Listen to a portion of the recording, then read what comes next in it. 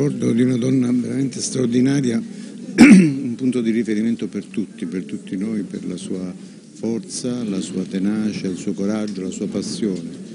E ci mancherà molto. Negli ultimi tempi siamo stati molto vicini perché sapevamo che nonostante la consapevolezza della sua malattia continuava a tutte le, tutte le attività possibili, quelle che poteva fare.